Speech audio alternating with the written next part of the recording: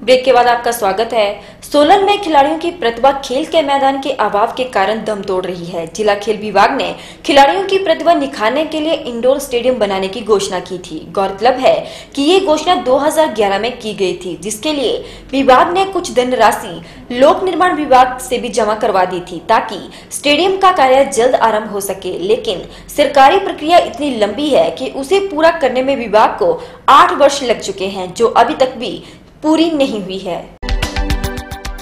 सोलन में खिलाड़ियों की प्रतिभा खेल के मैदान के अभाव के कारण दम तोड़ रही है। जिला खेल विभाग ने खिलाड़ियों की प्रतिभा निखारने के लिए इंडोर स्टेडियम बनाने की घोषणा की थी। गौरतलब है कि ये घोषणा 2011 में की गई थी, जिसके लिए विभाग ने कुछ धनराशि लोक निर्माण विभाग को भी जमा करवा दी थी, ताकि स्टेडियम का कार्य जल्द आरंभ हो सके। लेकिन सरकारी प्रक्रिया इतनी लंबी है कि उसे पूरा करने में विभाग को आठ वर्ष लग चुके हैं। जो अभी तक भी पूरी नहीं हुई है। बीते आठ वर्षों में अब इंडोर स्टेडियम की लागत भी बढ़ चुकी है, जिसके लिए फिर से विभाग को लिखा गया है कि अब ये प्रक्रिया कितने वर्ष और लेगी, ये देखने वाली बात होगी। जिला के खिलाड़ियों को ये आशा थी कि जल्द ही उन्हें इंडोर स्टेडियम मिलेगा और वह अपनी खेल प्रतिभा को निखार सकेंगे, लेकिन सरकारी तंत्र के लेट लतीफी ने उनकी सब आशाओं पर पानी फेर दिया है।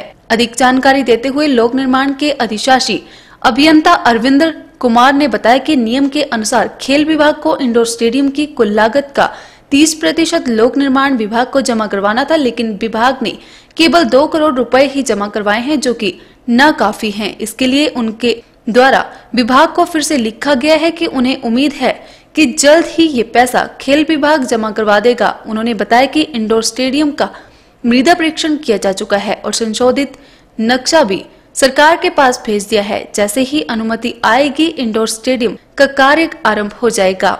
जहाँ तक ठोडो ग्राउंड के साथ इंडोर स्टेडियम का प्रश्न है, इसमें मैं आपको बताऊँ कि इसकी एनडीएस लगभग छः करोड़ सत्तर लाख या ऐसे कुछ 2011 के आसपास आई थी, और अभी तक उन्होंने सिर्फ़ दो करोड़ रुपए जमा किए थे।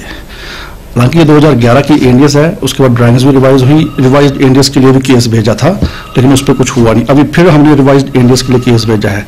जहाँ तक धनराशि का प्रश्न है, देखिए विभागीय एक स्तर पे है इसमें कि 30 percent of the NDS amount जमा होना चाहिए, ताकि स्मूथ फ्लो ऑफ़ कैश बना रहे इन केस काम अवार्ड हो जाए।